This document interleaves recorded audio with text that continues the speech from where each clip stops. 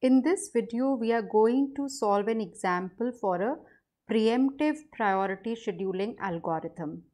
So what is priority scheduling?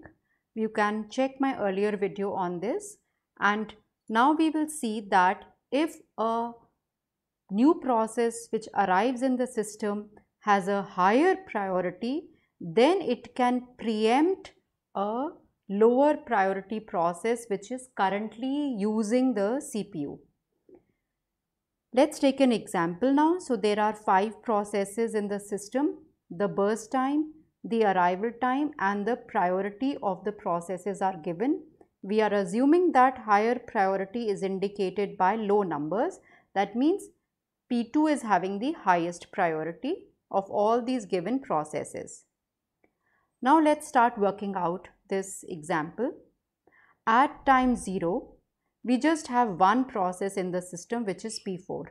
So P4 will be allocated the CPU. At time 1, P3 arrives in the system. Now the priority of P3 which is 4 will be compared to the priority of the running process P4 which is 5.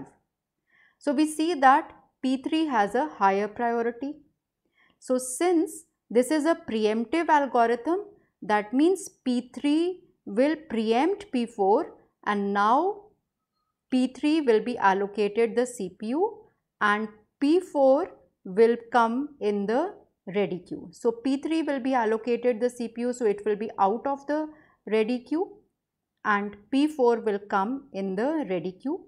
However, P4 has already run for one time unit so only two time units of P4 are left. Now P3 starts running and at time 2 P1 arrives in the ready queue. So the priority of P1 which is 3 will be checked with the priority of P3 which is 4. So we can see that P1 has the higher priority so now P1 will be given the CPU and P3 will come in the ready queue. And since P3 has already run for one time unit, so only 7 time units are left over here.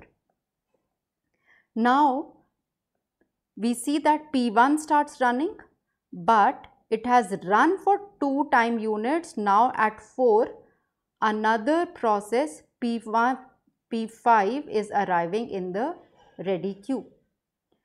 The priority of P5 is compared with the priority of the running process P1. As we can see, P5 has higher priority.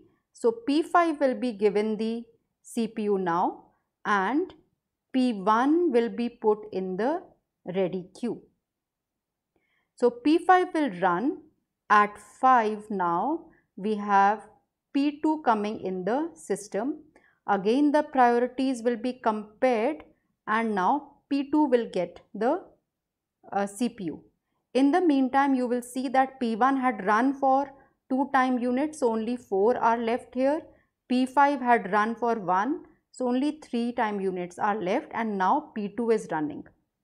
Burst time of P2 is 2 so it will run for two time units since no new process has arrived in the system. So P2 is already running so it is not in the ready queue now. After P2 finishes the priority of the processes which are there in the ready queue P4, P3, P1 and P5 will, will be compared. Since P5 has the next highest priority so P5 will get to run remaining time unit of P5 was 3 so it will run, run from 7 to 10 and P5 is also completed now.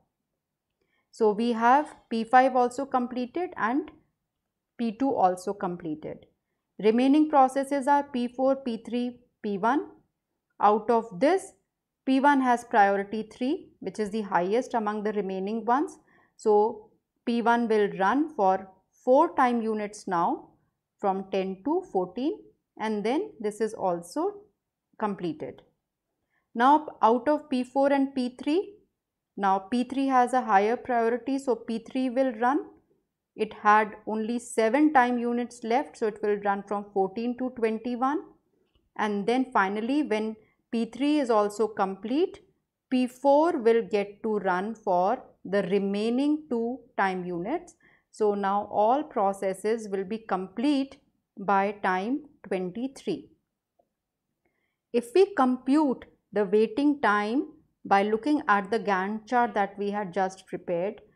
So let's go by process. P1, it wait, it gets the CPU at time 2.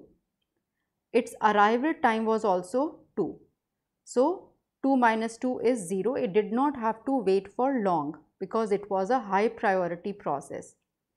After it completed over here, it was preempted by P5 and another process P2.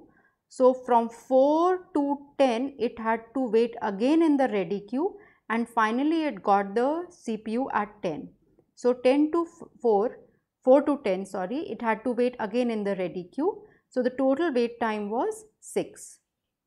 If we look at process P2, so P2 came at time unit 5, it got the CPU at 5. So 5 minus 5 0. It did not have to wait for any other time in the ready queue. For P3 it got the CPU at time 1. It had arrived at 1 so 1 minus 1. But after that at 2 it was preempted by other processes and then finally it got its CPU back again at 14. So from 2 to 14 again it was waiting in the ready queue so we add that time also. So the waiting time in the ready queue it becomes 12 for P3 and similarly for P4 and P5. So the average waiting time would be the sum of all the waiting times of the processes divided by the number of processes which will give us 8.